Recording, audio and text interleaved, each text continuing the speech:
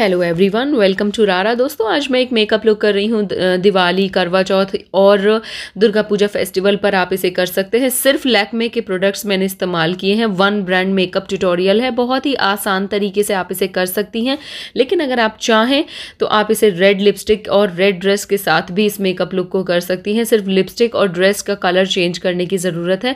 तो बेहद आसान ये मेकअप इसे किसी भी स्किन टोन पर किया जा सकता है और बहुत ही परफेक्टली इसे करके फेस्टिवल पे आप बहुत ही ब्राइट और ब्यूटीफुल दिख सकती हैं दोस्तों। तो सबसे पहले अपने फेस को प्रेप और मॉइस्चराइज करना बहुत ज़रूरी है, जो कि मेन पार्ट है। मैं यहाँ Lakme peach milk ultra light gel 24 four hour moisture lock moisturizer ले रही हूँ।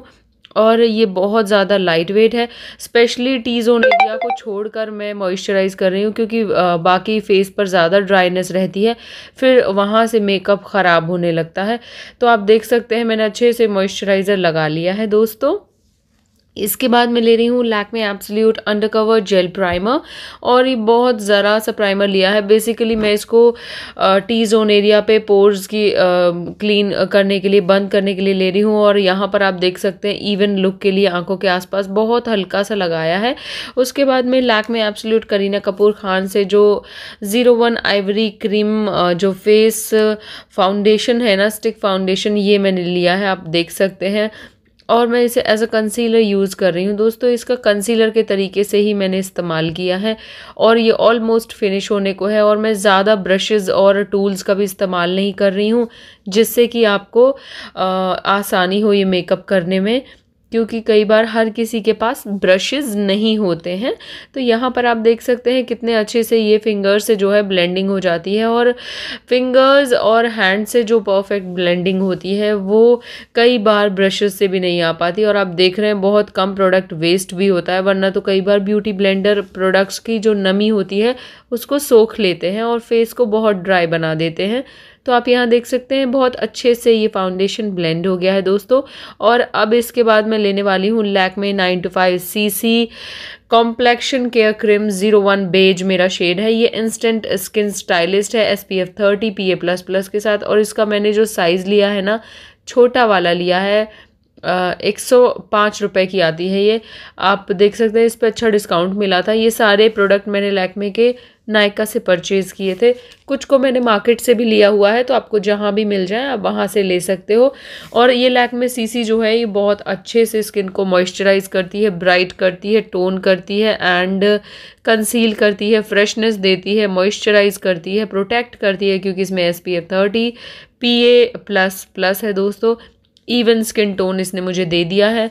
और मैंने इसको अच्छे से फेस और नेक दोनों जगह लगाया है, क्योंकि लुक बिल्कुल इवन आना चाहिए।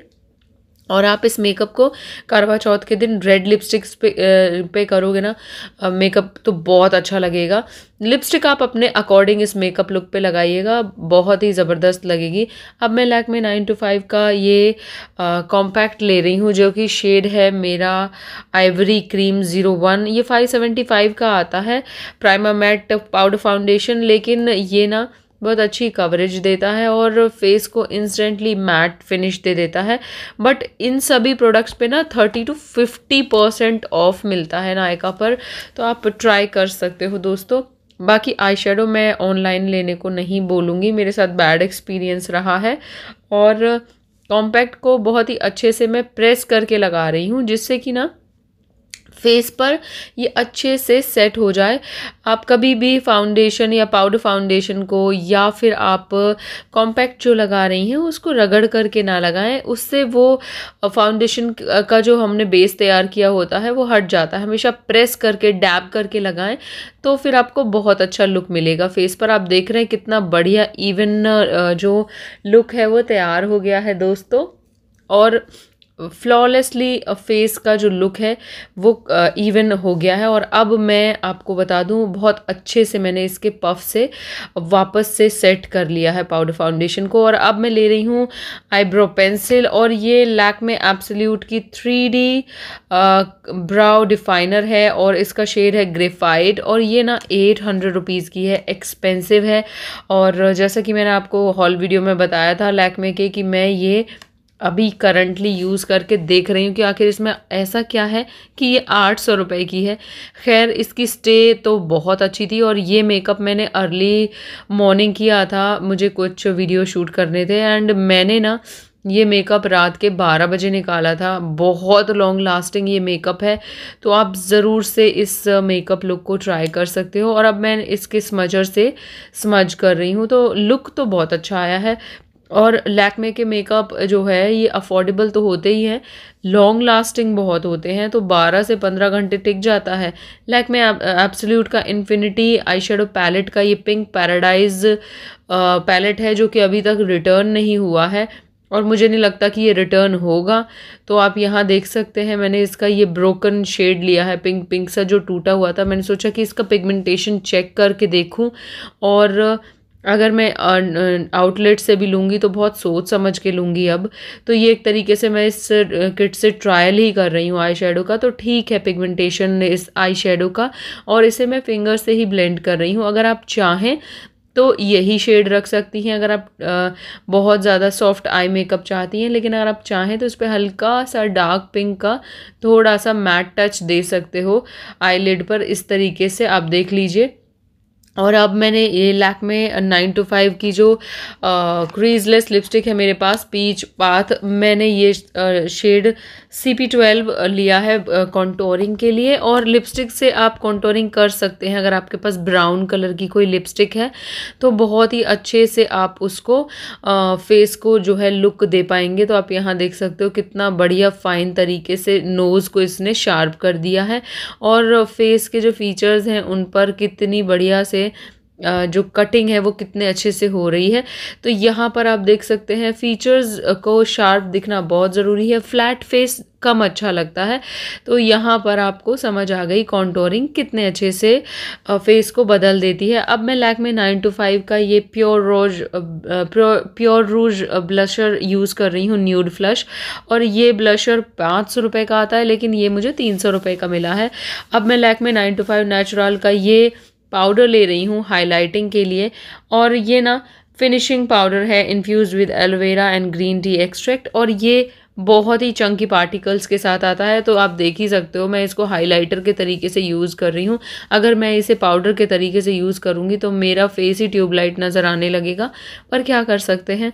अब जो है, आप देख सकते हो कि मैंने इसको क्यूपिड बो पर भी अच्छे से जो है हाईलाइट कर लिया है और अब मैं दोस्तों नेक्स्ट प्रोडक्ट अप्लाई करने वाली हूँ मस्कारा ये लैक में आइकॉनिक कर्लिंग मस्कारा है ब्लैक और बहुत ही अच्छे से ये लैशेज़ को कर्ल कर देता है एंड इससे लैशेज़ टूटती भी नहीं है स्टे भी अच्छा है और बहुत ही आसानी से ये अप्लाई हो जाता है। लेकिन चार पाँच कोट अप्लाई ना करें, वरना लैशेज़ बहुत हैवी हो जाती हैं, फिर आपको नींद आने लगेगी। तो जितना लाइट आप मस्कारा का लुक रखेंगी आई उतनी ही अच्छी लगेंगी। आप चाहें तो मस्कारा ही रखें, वरना आप चाहें तो इस तरीके से आई लाइनर लगा सकती हैं, जैसे मैं लगा रही हूँ। लैक में आइकॉनिक पेन लाइनर है ये फाइन टिप वाला और ये डीप ब्लैक है वाटर रेसिस्टेंट है स्मज नहीं होता फोर्टीन आवर स्टे करता है डर्माटोलॉजिकली टेस्टेड है एंड नो डाउट ये बहुत बहुत अच्छा है। Four seventy five rupees M R P है, लेकिन कम में मिल जाता है। पर ये ना मैं आपको बताऊँ, बहुत जल्दी ड्राइनेस इसमें आने लगती है, बहुत जल्दी। तो इसको आप अच्छे से लगा लीजिए और मुझे ऐसा लगता है कि ये ज़्यादा दिन चलेगा नहीं क्योंकि बहुत ज़्यादा ड्राइनेस इसमें आ जाती है। तो मैंने इसको दो बार अप्लाई किया था दोस्तों। अब मैं लोअर लैशेस को भी अच्छे से कर्ल कर रही हूँ और इन पर मस्कारा अप्लाई कर रही हूँ। यहाँ पर आप देख सकते हैं, ये बहुत ज़रूरी है और अब मैंने लिप्स को साफ़ कर लिया है।